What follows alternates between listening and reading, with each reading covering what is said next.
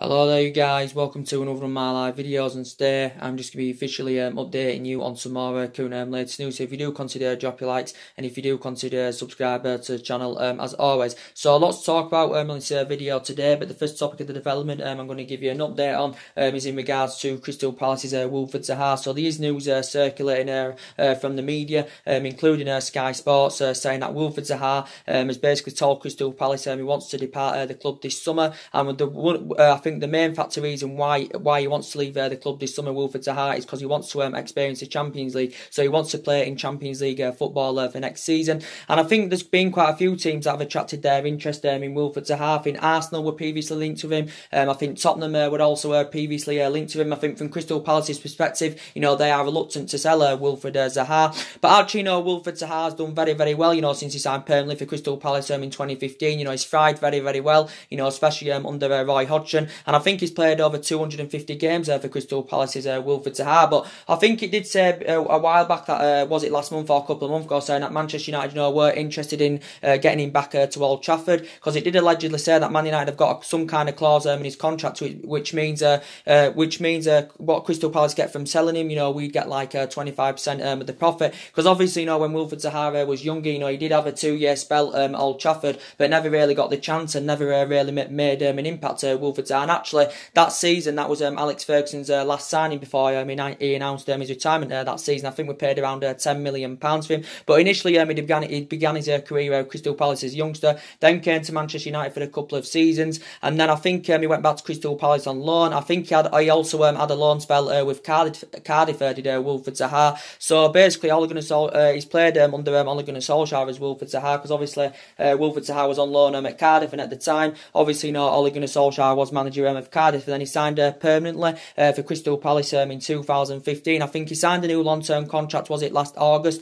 uh, with Crystal Palace, so he is under contract with Crystal Palace um, until 2023. But there has been quite a few teams interested him. You know, he can play as a forward, he can also uh, play um, as a winner, and obviously we do know Manchester United want to recommend a winner to come in this summer, because that's obviously, you know, one of the areas uh, where Manchester United um, are lacking. But he's in his mid-20s, he's 26 uh, years um, of age, and he has still got um, a lot of years um, ahead of him. But one of the main factor reasons why he wants to leave Crystal Palace is because he wants to be playing in Champions League football. So he probably won't be coming to United, Manchester United anywhere because obviously you know we're not in a Champions League uh, football uh, for next season. So there has been um, a lot of talks um, about that, you know, going on in the media. Crystal Palace don't want to lose him, but I think from Wilfried Zaha's perspective, you know, he does uh, currently uh, want to uh, leave. So um, and I think he was previously uh, valued, as I said, um, at around uh, 70 or was it um, 80 uh, pounds. But Arsenal have inquired about getting him. You know, Tottenham have inquired um, about getting Wilfried Zaha, but he wants to play in Champions League football um, as he has uh, currently uh, confirmed. So that's the big news to update you on that.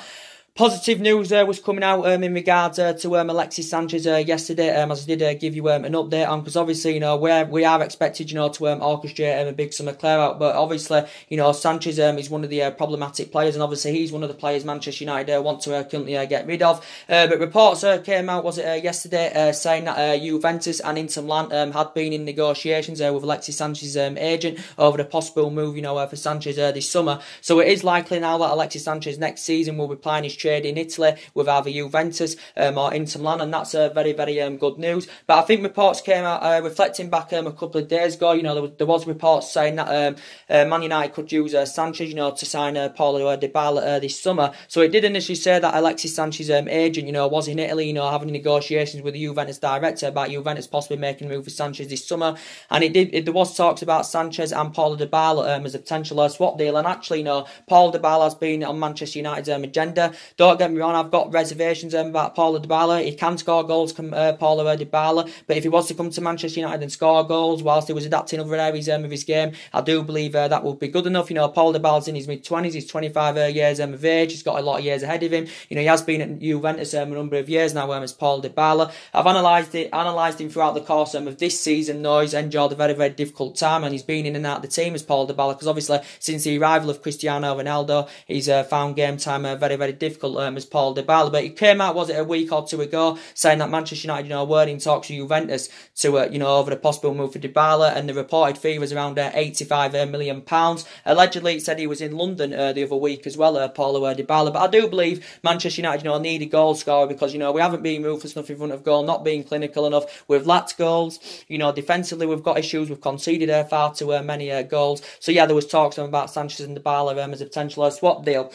But the good news is now, um, obviously, I think Inter Milan um, are only keen on getting Sanchez um, on a long season loan, of course. And I think Manchester United um, can only, you know, sanction him off um, on a long season uh, loan. I don't, uh, Manchester United won't be able to sanction Sanchez off permanently, you know, based on his astronomical uh, wages. I think he's on about £400,000 a week. Um, I think it initially, you know, does uh, rise up to around uh, £500,000 a week when you take it into account. So we won't be able to get rid of him uh, permanently. So I think Man United are intending on, you know, sanctioning him off on a long season loan. I think Manchester United have confirmed confirmed we are willing to uh, pay um, half of his uh, current uh, wages. So it did say Manchester United would have to pay around £12 million, you know, to Sanchez, you know, to get him um, out. But we can't get rid of him uh, permanently, but we can get rid of him um, on a long season loan. So I think, you know, Alexis Sanchez, you know, probably would be interested in making um, a return uh, to Italy because he had, he's had experience of playing in Italy, of course, uh, when he was younger uh, with Udinese. So it's likely he'll be either playing for Juventus next season or Inter Milan, um, of course, with Alexis Sanchez. But analysing Alexis Sanchez, you know, he's just been so inconsistent as a Manchester United player. And as I did say, um, he doesn't he doesn't uh, uh, getting the Galactico players, spending big on players or whatever doesn't always guarantee you success and doesn't always get you in that commanding position. And there you get there you go. The prime example um, is Alexis Sanchez. No, we got him through a swap deal, you know, with uh, Mkhitaryan, but um, he was a fundamental player, you know, when he was at Arsenal and all that, and he's obviously you know played under Pep Guardiola uh, when he was younger. So I thought when we got him, he'd have been a fundamental player for us, but he just hasn't exceeded um uh, he,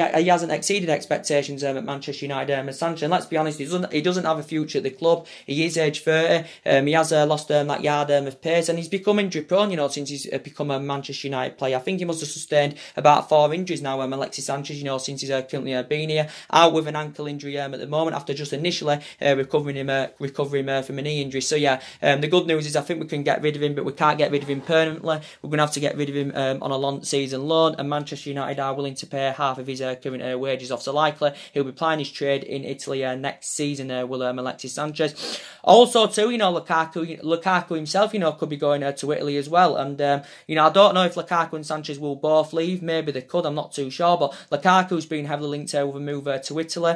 Um, obviously, the likes of Juventus and Inter Milan have been interested um, in Romelu Lukaku. Lukaku um, has enjoyed um, a very, very uh, difficult second season uh, for Manchester United because he's initially lost um, his place in the team. But I don't think Lukaku's got the capabilities, you know, uh, to play uh, to the highest level. You know, he doesn't have that endless, endless potential. His finishing uh, concerns me. Don't get me wrong, he can score goals as he has proven. He's got a really, really good pedigree um, in the Premier League. You know, Lukaku's still got three years left on his contract. He's on £250,000 a week, and Manchester United paid £75 million for him, plus £15 million in add ons, which has risen um, the deal uh, to £90 million. So we have got a history um, of spending big um, on players. You know, Lukaku, £75 million, Pogba, 89 million. But if we can get rid of Lukaku and Pogba, that will help us with our rebuilding process and it will um, help us uh, with our uh, transition.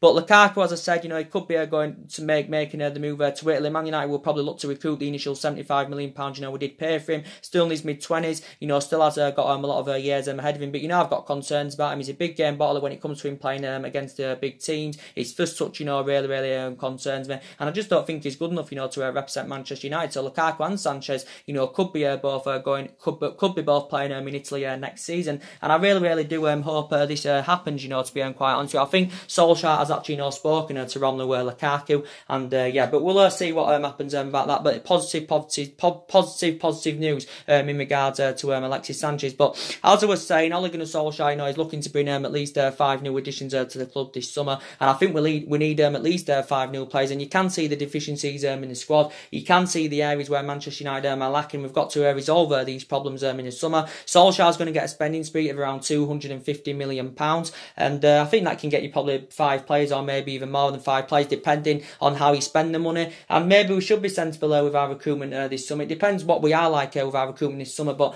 analysing our recruitment policy um, is uh, very, very poor. Obviously, we do know Manchester United um, have got to uh, get um, a director of footballing, you know, to change the structure of the club and all that. And obviously, Ole Gunnar Solskjaer is going to need backing this summer. And there has been quite a few candidate names, you know, who could take that uh, as well, um, Manchester United. But Ole Gunnar Solskjaer has worked out his transfer strategy for this summer. I think he's intending on bringing a number of young players in that can grow, develop, and emulate um, into superstars. So he's worked out um, his transfer strategy as Solskjaer, and he still believes that Solskjaer That we can attract players uh, to the highest level, even though we're not in a Champions League uh, football uh, for next season. But as I did say to you yesterday, I think this summer is going to be a dilemma for Solskjaer, a dilemma for Manchester United because we're not in a Champions League football for next season. It's going to be hard to get um, our current uh, number one uh, targets, um, indeed. But yeah, we're going to get around 250 million pounds to spend. Uh, we do know none of this squad is Ole Gunnar Solskjaer, so he's basically you know, still in the process of rebuilding. He's looking to buy um, into our history. Um, he's Ole Gunnar Solskjaer, but at the moment, City are strides ahead of us. You know, Liverpool are strides um, ahead of us, and I do believe the likes of City and Liverpool and Arsenal and that are probably you know going to invest uh, this summer. So we've got to um, invest uh, this summer, and that is uh, very very important. Uh,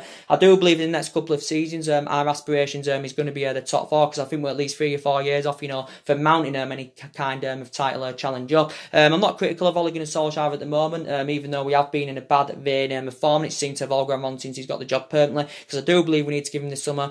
But if this bad run of form continues to persist going on into next season, then I'll be critical of Ole Gunnar Solskjaer and then I will want him um, out um, of Manchester United because it went all well when he was the interim manager in his first three months. The results were good, the performances there were really, really good, and he was getting the best um, out of these group players, and you know, them expectation levels uh, were met. But you know, we want to get this club back, you know, to being up there, you know, challenging and winning uh, silverware. Um, of course, regardless of who the manager is, I know it's Solskjaer. We're never going to achieve what we achieved um, under um, Alex Ferguson, but as I said, you know, we've got we want to be back to the club, you know, being up there at least challenging and winning um, some uh, trophy because you know we haven't won a trophy since 2017. That's when we won the Europa League, of course. We haven't won the Premier League, you know, since uh, 2013, of course. And I think we're years off, you know, from even challenging, you know, from uh, winning uh, the Premier League, um, of course. Uh, challenge, well, years off from challenging for it, but um, I think a lot of years off uh, from potentially, you know, uh, winning it. So we do uh, basically, you know, need to rebuild this summer. And we've got to be a uh, ruthless um, in this summer uh, transfer window.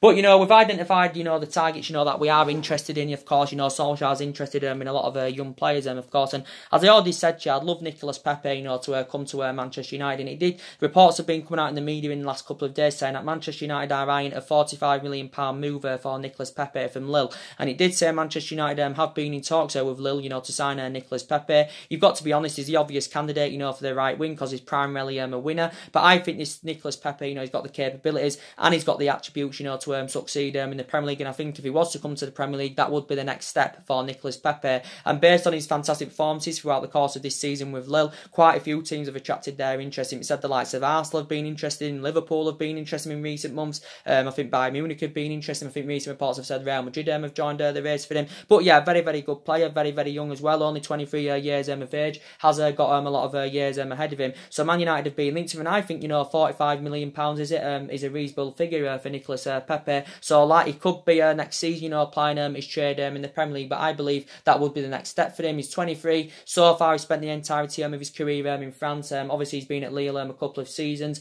Obviously, I think um, he's got a contract with Lille um, until 2022. Um, I think he's a former Angers player. You know, I can't remember the other teams um, he uh, played for, but yeah, primarily um, a winner, and he's the obvious candidate for that right when he's got goals in him, he's got assists in him, he's quick, he's good on and off the ball, and he's got immense talent. I think he would be a fantastic uh, for Manchester United. You know, um, if he was uh, to come in again, maybe a player of his caliber wants to be in Champions League football. But if Man, would you take you know Nicolas Pepe? If you know if Man United were willing to offer him, you know, a, a, a, an, astro, an astronomical amount um, of wages, you know, would you you know would you go in for him um, in that aspect? I don't know to be quite honest with you, and. Um, but yeah, you know, I think you know uh, Nicolas uh, Pepe, you know, uh, would be a fantastic for us. But going back to what I said about Sanchez, we've got to get rid of him anyway because his wages um, are totally um, having a bad effect um, on this uh, football club. But yeah, it's looking likely anyway. Sanchez is going to be loaned out to Inter Milan or Juventus uh, for uh, next season, which is uh, very very um, good news. But yeah, Nicolas Pepe, you know, would be a fantastic uh, for Manchester United. Um, I do believe the likes of Borussia Dortmund's Jadon Sancho. We do know a lot of Man United fans would like to come in, would like him to come in. Obviously, he's been the, our number one priority target, you know, for quite some time now. Um, I don't think Jadon Sancho is going to come in because reports are coming out saying that Jadon Sancho is set to turn down a hundred million pound uh, move to Old Trafford, and he's set to remain loyal to Borussia Dortmund um, at least uh, for another year. And I think from Borussia Dortmund's perspective, they are convinced um, he will remain um, at Borussia Dortmund. Uh, uh, will Jadon Sancho? Jadon Sancho, 19, one of England's um, uh, one of England's uh, youngest um, upcoming talents, and Ole Gunnar Solskjaer showed an interest um, in quite um, a few uh, British players, and of course Jadon Sancho has been one of them. You know, primarily winner, can play between the byline, can score goals, lots of assists in him, and he's been on Manchester United's agenda now uh, for quite some time. I think Man United were preparing to pay the hundred million pounds, of course, for uh, Jadon Sancho, so we have got the financial power to meet his evaluation. But I don't see us now getting Jadon Sancho on the board. He has got a contract with Borussia Dortmund um, until 2022 um, as Jadon Sancho, so he, Man United have been heavily linked to him, and you know I think if he was to make a return back to the Premier League, you know it would create a better platform for him. Um, I think you know it, I'd love Manchester United, you know, to get a player um, of his quality, but I don't see us getting it, getting him um, on the board now. But I think he will be continuing playing his trade um, in Germany next season uh, with Borussia uh, Dortmund. So I don't see Manchester United now uh, getting him in.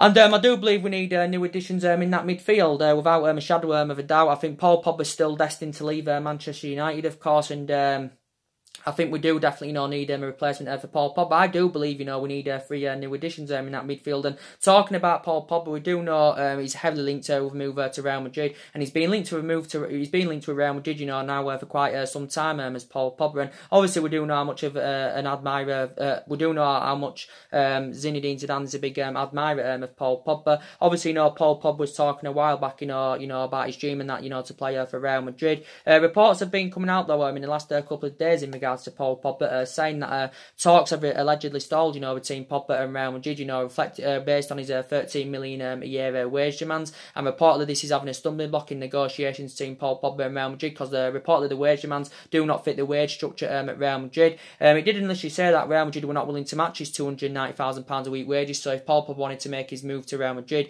he reportedly um, would have to uh, take uh, some kind of a pay cut. But I still believe he'll make uh, the move uh, to Real Madrid. Obviously, Paul Pogba was heavily linked to move away from Old Trafford last year. You know, his former club, Juventus, were interested in him. Obviously, you know, Barcelona uh, were interested um, in Paul Pogba uh, last year based on his poor relationship uh, with Jose Mourinho. But as I did say, reports were coming out, was it yesterday, uh, saying that Barcelona were preparing to put a bid in of around 130 million pounds for Paul Pogba. It did say Barcelona could sanction Ivan Rakitic off, you know, to fund uh, the move for Paul Pogba. But I don't even think I, don't, I think Manchester United insist that he's not even there for sale. But I think if we were were willing to do any business, I think Manchester United have made it clear that we want around 150 or 160 million pounds for Paul Pogba. Um, I don't think Real Madrid are willing to pay up to the 160 uh, million pounds for Paul Pogba. And you know, I think I, still think he's probably uh, going. But you know, since Ole Gunnar Solskjaer's coming, you know, I've analysed Paul Pogba's performances, and we have seen the glimpses of glimpses of uh, Paul Pogba's best form. Uh, we mainly saw it in that uh, three month period, you know, when Ole Gunnar Solskjaer uh, was the interim manager. We mainly saw Paul Pogba's best form then, and it was it was when mainly Ander Herrera was playing. You know, we saw the best um, of Paul Pogba. So that just emphasised how much of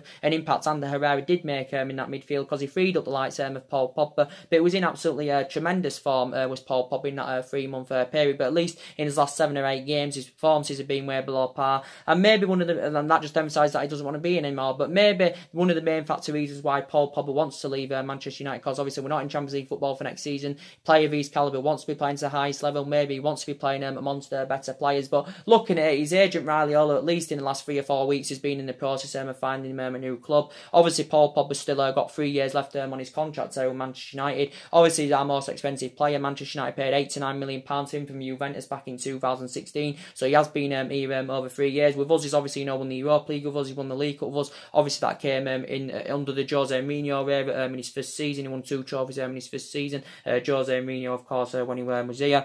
But yeah, we paid eight to nine million pounds uh, for uh, Paul Pogba. But obviously, you know, Ole Gunnar Solskjaer has built um, a great relationship up, a relationship up uh, with Paul Pogba. Um, you know, because obviously when Ole Gunnar Solskjaer managed Manchester United reserve team, you know, he watched some of this team in this day and age, you know, grow and develop. And of course, one of them was Paul Pogba. But actually, you know, recent reports have said that Ole Gunnar Solskjaer and Paul Pogba's relationship is slowly uh, fading. And um, yeah, so that's what it, you know, uh, basically um, said.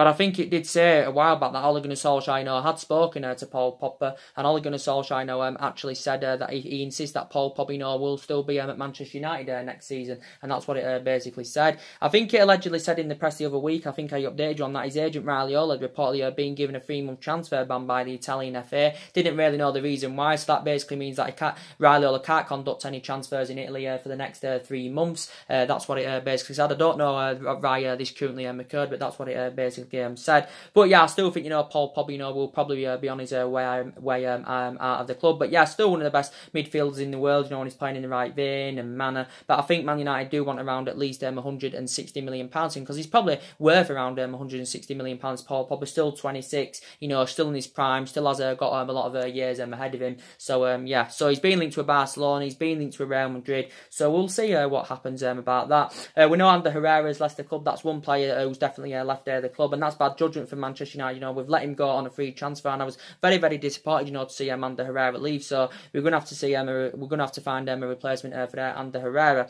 But for me, I think Bruno Fernandes, you know, would be fantastic for Manchester United, and I think he'd be the good ideal replacement uh, for Paul Pogba because Bruno Fernandes is primarily an attacking midfielder. Bruno Fernandes has been on Manchester United's um, agenda, you know, for quite some time now. Bruno Fernandes, and I'm a big big fan um, of Bruno Fernandes. Um, he can score goals, he can provide, as he has uh, proven throughout the course um, of this season uh, with uh, Sporting uh, Lisbon. He's 24 years of age, you know, he has still got um, a lot of uh, years um, ahead of him. Um, obviously, Man United have been linked to him, Manchester City, um, of course, um, have been uh, linked to him, of course, and obviously a player Bruno Fernandes' caliber, obviously the most attractive, the, the more attractive option, obviously, you know, would be uh, Manchester City uh, for Bruno Fernandes, but Manchester United um, are still in there. For, and I think he did allegedly say that uh, Sporting Lisbon uh, want around uh, 60 uh, pounds for Bruno Fernandes. His initial release clause is around 85 or 86 million pounds. So I don't think Sporting Lisbon are demanding uh, for uh, initial uh, release clause uh, uh, to be triggered if they're demanding around 60 million pounds for him. But I do believe, you know, that Bruno Fernandes has got the capabilities, and I do believe he's got the attributes, you know, to succeed um, in the Premier League. So I do think he'd produce and deliver the same element of performances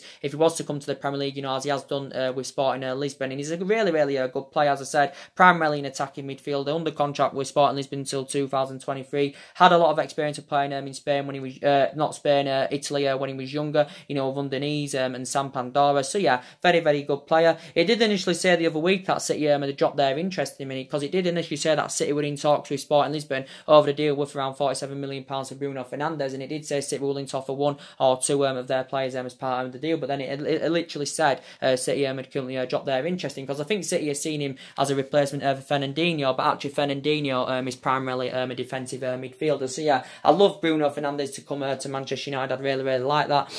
And uh, Youri Tielemans, you know, he's a player um, I'd also, you know, like to uh, come uh, to Manchester United. You know, his name's been uh, fl- uh, been floating around uh, the media um, at least um, in the last uh, couple of days. Um, I've been reading up, you know, about Youri Tielemans and the likes of Arsenal have been linked to him. The likes um, of Tottenham um, have been uh, linked to with Youri uh, Tielemans, and there has been um, a lot of talks um, about him going on. Uh, Youri Tielemans, um, he's only 22 uh, years um, of age, so he's uh, very, very um, young. Youri Tielemans, um, he has been on loan at Leicester uh, since January, um, and he's done really, really well since he's gone out on loan uh, with Leicester. I think from Youri Tielemans Tielemans' uh, perspective, he says he's expected to return to Monaco at the end um, of his loan spell uh, with Leicester. But I think from Leicester's perspective, they've been impressed with his performances, and I think Leicester and Brendan Rodgers uh, want to get him um, on a permanent uh, deal. So Leicester have been in talks uh, with Monaco um, over this, but the likes of Man United, Arsenal, and Tottenham, we've all expressed um, are interested in him. I think um, he is um, a central uh, midfielder. He is a central midfielder. He's uh, you know Youri uh, Tielemans, and I think he's still the contract with Monaco till 2022. And I think Monaco, you know, initially value him um, around uh, 40 million pounds. But he can score goals, he can provide. So I do think if he was to come to Manchester United, um, he'd blend in very, very well um, in our midfield. So I think Youri Tielemans and you know Bruno Fernandes, you know, would be the right candidates to come uh, to fulfil our midfield um, area. There would be a fantastic game indeed. Both very, very young, both got goals in them, both uh, can provide um, assists, of course. And uh, yeah, so there would be uh, fantastic. So yeah, there has still there has been um, a lot of talks um, about uh, Youri Tielemans. Um, obviously, you know West Ham's Declan Rice. You know he's been another prime target uh, for Manchester United as Declan Rice, and I like Declan Rice. He's primarily um, a defensive uh, midfielder. He can play as centre back, but I think he's primarily defensive midfielder. Obviously, you know, Premier League proven, learned um, his trade um, in the Premier League. You know, he's been at West Ham a number of years now. He's been in the senior squad at West Ham um, a number of years, and he signed a new long-term contract with West Ham till 2024. Uh, back in December um, of last year, probably based um, on his uh, fantastic performances. But throughout the course of this season,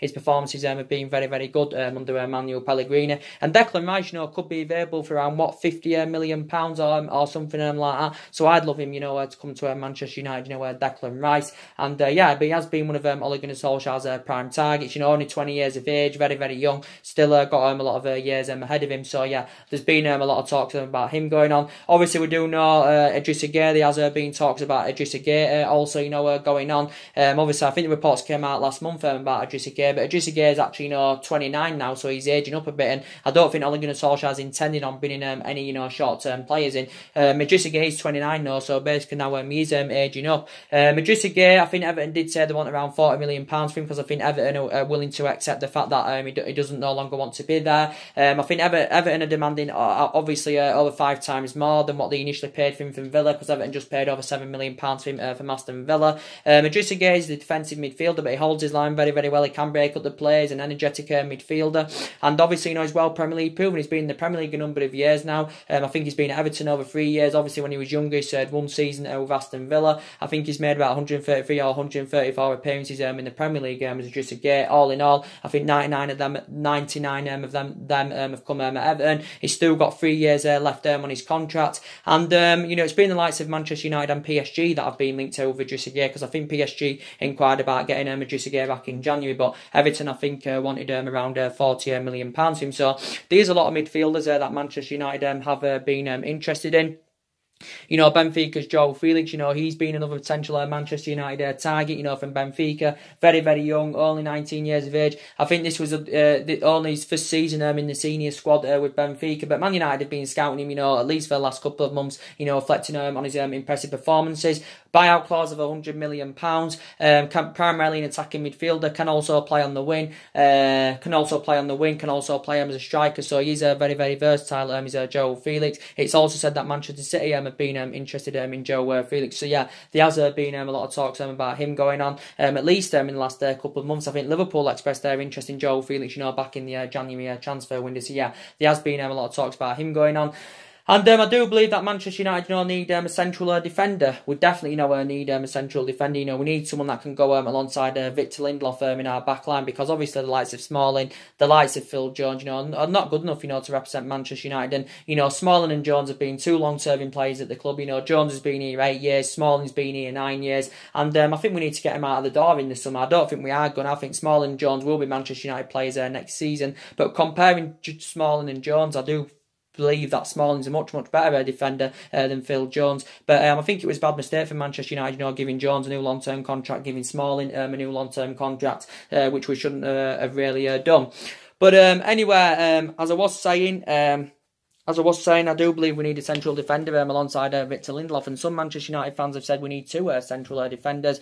And uh, you know, obviously now uh, the club's number one target uh, for the summer is obviously you know Napoli's uh, Koulibaly. He'd be my number one priority because um, I think he'd address our defensive deficiencies, you know, fantastically well. And I think he's got all the, the the capabilities and he's got all the attributes, you know, to um, succeed um, in the Premier League. You know, he's strong, he's quick, he's tenacious, very very good in the air, holds his liner very very well. Carlo Ancelotti has regarded him um, as one of the best centre backs um, in the world. It did say that if Man United do want to get him uh, this summer, Manchester United would probably um, have to break uh, the world transfer record for him, and I think um, we'd have to pay maybe around 100 or 110 million pounds for him um, at least. I don't think Manchester United are keen on paying um, over 100 million pounds uh, for Koulibaly. Maybe Manchester United may try try to convince Napoli to sell him uh, for around uh, 80 uh, pounds, but I think his initial release clause Koulibaly's um, is supposed to be around um, 110 million in his deal with Napoli. He signed it, it, it, it, was not too long ago he signed a new contract with Napoli, so he's under contract uh, with Napoli um, until 2023. Highly experienced, 27, you know, nearly uh, 28, 28 uh, years of age. I think he's 28 um, in June, um, if I'm right. Um, he's Koulibaly.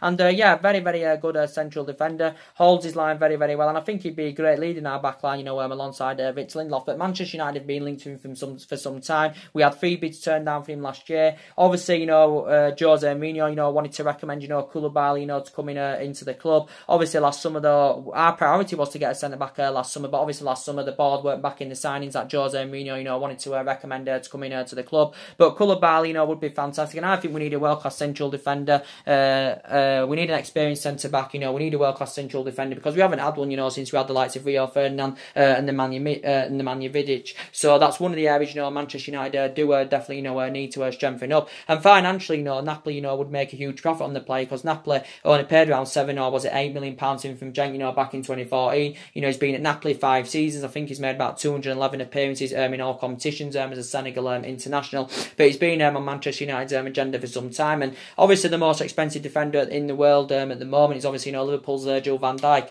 who Liverpool paid 75 million pounds for in January of 2018. So he's been at Liverpool about 15, 16 months now, and um, he's done very, very well as Virgil van Dijk. And I think imagine Virgil van Dijk and uh, Koulibaly in Liverpool's squad, and that would be good uh, from a Liverpool uh, perspective. But I don't think Liverpool are willing to spend another um, big amount of money um, on um, a defender. And Liverpool don't even need a central defender now. You know they've got Virgil van Dijk there. You know they've got Joe Gomez there. It's my club, Manchester United, um, of course, that do uh, need um, a central uh, defender. So yeah, I think Koulibaly, you know, would be um, absolutely uh, fantastic, and that would be a good, good, you know, to start um, our summer off by announcing the signing um, of Koulibaly uh, from Napoli. And I think actually last year he was uh, also, you know, subjected uh, to racial abuse, of course, and there was rumours saying that he did actually, know, want to uh, leave uh, Napoli um, at that moment in time when he did uh, suffer that racial abuse. Was it um, last year? I think he, uh, sometime this year he also, you know, suffered uh, more uh, racial abuse. You know, did uh, Koulibaly. But yeah, I'd love him to come to Manchester United because I think he'd dramatically um, improve uh, defensively. And other defenders that have been on Manchester United's agenda, we do know a lot of United fans would like to see Leicester City's uh, Harry Maguire coming in. I'm a big fan um, of Harry Maguire. I really, really like him. I can't put him on, you know, Koulibaly's level or out, but I still think he's a very, very good player.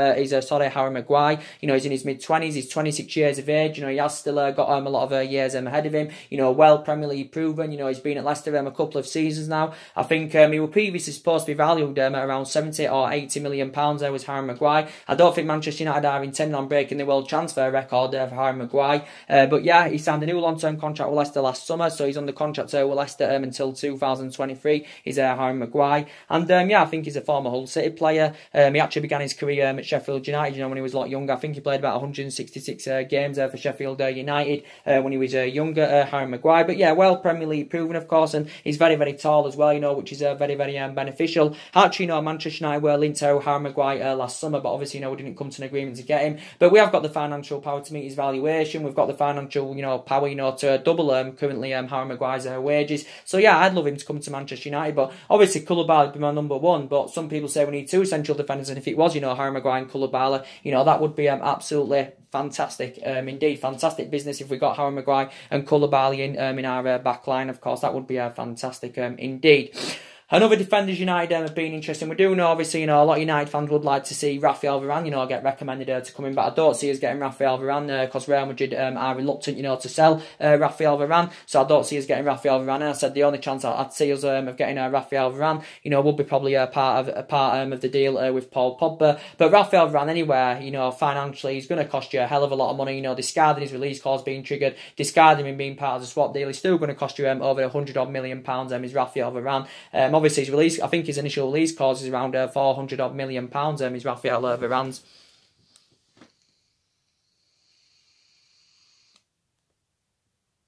Is uh, Rafael Varane's. Um, I think he's yeah he's initial release cost around uh, 400 million pounds. You know, 25 um, years um, of age, got um, a lot of uh, years um, ahead of him, and it's remarkable what he's achieved. I mean, he spent the majority um, of his career um, in Spain uh, with Real Madrid as uh, Rafael Varane, but he's done uh, really really um, well. But I think he'll end up. Uh, uh, I think he'll stay um, at Real Madrid. Um, obviously, you know Tottenham's uh, Toby Alderweireld. You know a lot of talks um, about him. Obviously, look financially though. Looking at Alderweireld, you know he's a much uh, cheaper um, alternative to the likes of the Harry Maguires or the Koulibalys and that. Obviously, no, not nowhere near as good or on like the same kind of level, but um, he's still um, a cheap um, alternative. If you, if you look at it, you know, £25 million is available for this summer because that's his initial lease clause. But he's well Premier League proven, and I still believe that Alderweireld, you know, would be a good upgrade um, in our defence um, of uh, what we've currently um, got. So, yeah, there has been uh, talks about him, but I've got reservations about him now. He's 30 years of age, he's Alderweireld. Um, he has uh, lost um, that yard um, of pace, so... Um, yeah, so maybe some Manchester United fans wouldn't like to see uh, Alderweireld come in, but yeah, there's been a lot of central defenders um, on Manchester United's um, agenda. Um, Talking about, you know, the likes of Rojo and Darmian, I do believe that we're going to get rid of um, Marcos Rojo um, in the summer and Darmian um, in the summer. You know, we can cash in for them too as well. Uh, we can get around probably £30 million, you know, for Rojo um, and Darmian. Um, I do believe probably, you know, Eric Bailly, um, of, of course, is probably, you know, going to be uh, leaving uh, the club. Well, he should uh, leave uh, the club because I think, you know, he burst into the scenes when he first came into the Premier League, you know, um, Eric Bailly, but I think at least in the last year or two, you know, he's found, you know, game time very, very difficult. You know, I think the amount of injuries he's sustained, you know, his fallout with managers has totally had a bad effect, uh, a bad effect um, on his uh, Manchester United career, if I'm going to be honest with you. But I think Man United are looking to recoup the initial £30 million for him. You know, we paid for him from Villarreal, you know, back in 2016. As the update on my video, was it about four days ago, whenever it was? It wasn't, I think it was most recently anywhere. It said Arsenal were interested um, in uh, Eric Bailly, um, but I think it did say Man United want around uh, £30 million million pounds uh, for him. Uh, but actually, you know, it was uh, Jose Mourinho. Obviously, you know, got 11 plays when it when he was at Manchester United. You know, he spent just under 400 million pounds. Actually, you know, Eric Bailly. um, actually, you know, was uh, the first signing. Eric Bailly's made about 50 appearances in the Premier League for Manchester United. Um, I think he only scored that one goal. I think that came um, against Swansea um, a couple of uh, seasons um, ago, was it? Uh, but yeah, he's initially uh, lost um, his place um, in the team, so maybe we should get him out because he's um, injury prone. Um, he's Eric Bailly, um, if I'm going to be quite honest with you, and. Um,